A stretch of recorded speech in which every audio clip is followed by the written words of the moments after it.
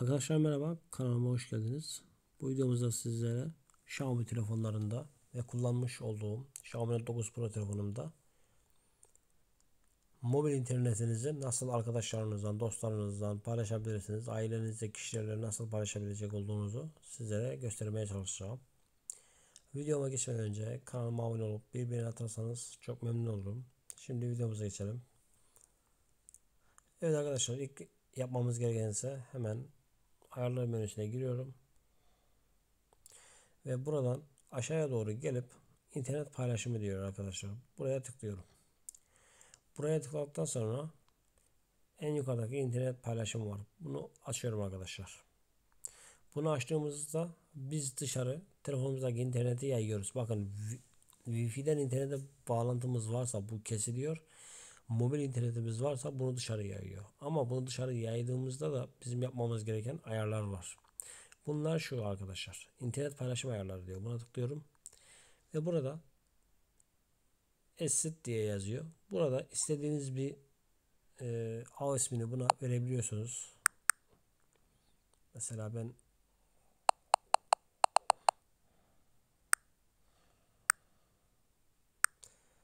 abone ol yazayım buraya.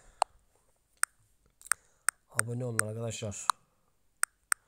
Abone ol. Bu dışarıda Wi-Fi başkalarının telefonunda Wi-Fi ararken görünecek olan at. Şuraya arkadaşlar ne yazıyoruz? Buraya da şifre yazıyoruz. Şifreye girmeden e, bizim internetimizi kullanmasınlar. Değil mi? Ne yazalım? İzle izle yap. İzle izle yap. Dedim arkadaşlar. Güvenlik türü VPA2 personel olacak. Cihaz kimliği önemli değil.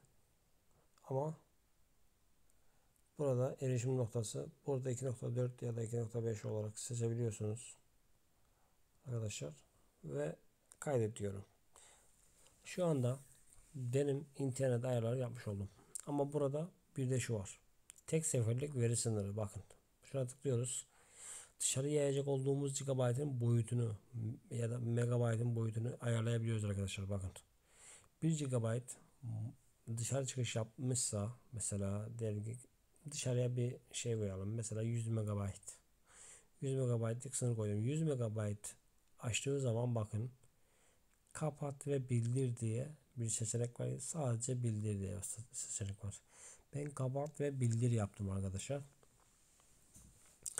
ve 100 MB açıldığını size bilgi verecek arkadaşlar telefonunuz. Kapatıyorum. Burayı da kapatıyorum. Ve geri geliyorum. Arkadaşlar burada yapabilecek olduğumuz başka e, ayar yok. Şurada da en altta da bağlı cihazlar.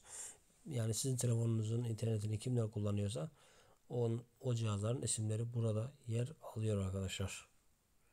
Bakın bu bağlı cihaz sınırı. Onu da buradan ayarlayabiliyorsunuz. Mesela 6 tane telefon mu? 5 tane mi? 3 tane mi?